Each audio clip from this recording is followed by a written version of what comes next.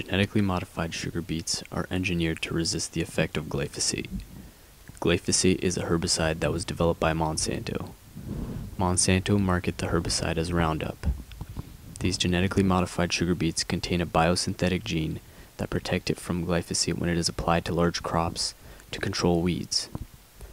It is important to eliminate weeds in sugar beet fields because they compete with the crop for water, nutrients, and light. Glyphosate controls the weeds without harming the crop. Health Canada have stated that sugar from glyphosate tolerant sugar beet lines do not raise concerns related to safety. They have concluded that these sugar beet lines are as safe and nutritious as sugar from current commercial sugar beet varieties. In Canada, sugar beets are grown in Alberta, British Columbia, Quebec, and Ontario for Rogers Sugar and Lantic Incorporated, where it is sent to the United States. In 2005, the USDA, United States Department of Agriculture, deregulated the sugar beets that contain the Monsanto gene after it conducted an environmental assessment that concludes that the genetically modified sugar beets are highly unlikely to become a plant pest. The USDA also approved the human and animal consumption of glyphosate resistant sugar beets. However, a federal judge banned any further planting of genetically engineered sugar beets in 2010.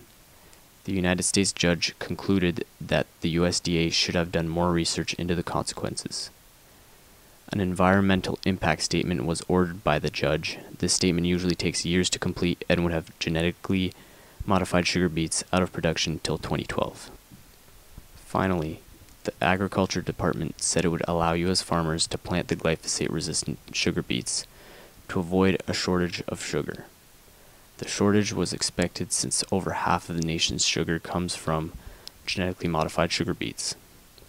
There is a substantial economic benefit that comes from growing glyphosate resistant sugar beets, as opposed to normal sugar beets.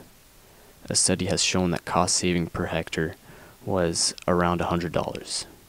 Also, less mulch seeding and tillage could be applied. Therefore, this practice is very beneficial economically for seed farmers and Monsanto. The agriculture industry benefits, as does society, because more jobs are created due to the local manufacturing of the nation's sugar. The use of herbicide resistant sugar beets is ecologically friendly and economical. A principal issue with genetically modified sugar beets is that they're wind pollinated, and there is a large chance that the pollen from the genetically modified sugar beets could contaminate table beets and chard.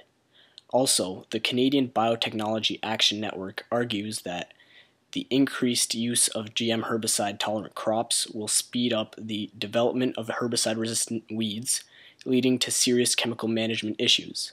The overexposure of pesticides is harmful for human health. There have been no studies showing that genetically modified sugar beets pose any health risks. However, activists are concerned that there have not been enough scientific trials to safely say that herbicide resistant sugar beets are safe for human consumption. The study that was done showed that DNA survived in the stomach, but no further studies were done. After researching the topic, I believe and recommend that genetically modified beets should continue to be produced as the risks that have been presented aren't backed up by evidence. The wind pollination that could also affect chard and table beet is not an imminent threat. The sugar beet industry recommends that table beet and chard crops be 6 miles away from sugar beet crops to ensure isolation and no contamination. If this isolation was practiced in all beet farms, then the risk would be eliminated. As for the health risks attributed to human consumption, there have been no evidence that genetically modified beets pose a risk. To answer any concerns, the USDA and Health Canada have to conduct studies to prove or disprove that herbicide resistant sugar beets are a potential health risk. This is crucial since glyphosate has been linked to non Hodgkin's lymphoma.